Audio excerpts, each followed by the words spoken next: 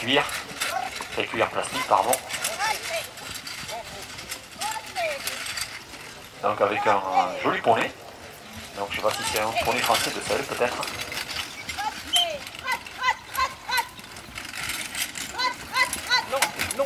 Allez, vous voyez donc il s'est vraiment appliqué. Il voyez poney qui est. Et il demande qu'à partir, hein. on a vu qu'à la sortie là, euh, il a envie d'y aller. Donc voilà, alors c'est toujours pas facile de, de choisir le bon rythme pour se dire allez, allez rapide pas assez, oui, parce que si on va vite, il faut pas se couper. Et surtout quand on arrive dans le numéro 5, l'obstacle euh, des commerçants.